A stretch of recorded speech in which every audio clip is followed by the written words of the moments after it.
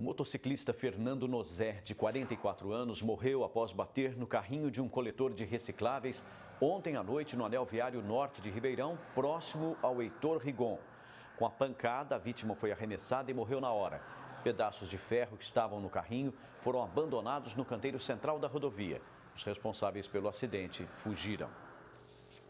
Havia no local aqui uma, uma testemunha de fato ocular do fato e ela informou a nós que um rapaz estava empurrando, atravessando a rodovia com um carrinho de reciclagem e a, motor, a motocicleta, o condutor não visualizou. Está próximo a um bairro novo aqui também, onde muitas pessoas não respeitam a rodovia, é, atravessa aqui. Há uma passagem inferior próxima aqui que demanda desse bairro novo a cidade de Ribeirão Preto, mas não aqui eles desrespeitam, né?